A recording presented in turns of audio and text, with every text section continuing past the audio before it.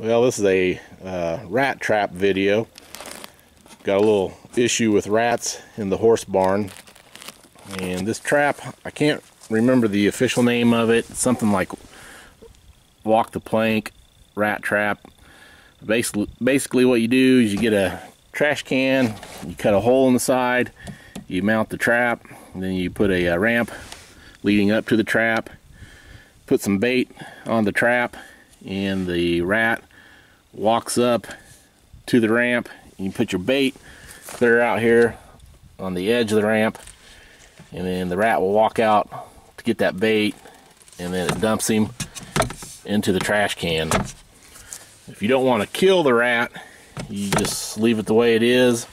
If you want to kill the rat, then you put some water, enough water in the trash can that when he falls into the water, he's going to drown.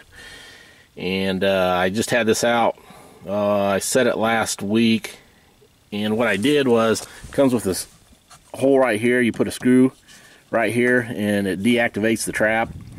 So I started baiting the trap, and I had it deactivated so the rats got used to coming here and feeding.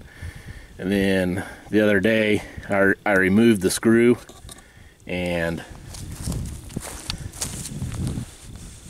my first victim right there. So seems to be working. I'm going to put some more water in it and bait that plank back up and see if I can catch some more. Alright, I've got my trap set. There's the entrance right there. Got a little, little bit of bait. And you want to put a lid on this so that they can't hang off the side and reach down in there and grab the bait. You can see I got water in the bottom of the trash can. And then my peanut butter spread smeared all over the edge of the plank and then some on the uh, side of the trash can. So they come walking in there, they go out to get that peanut butter and bloop into the drink. So there you have it.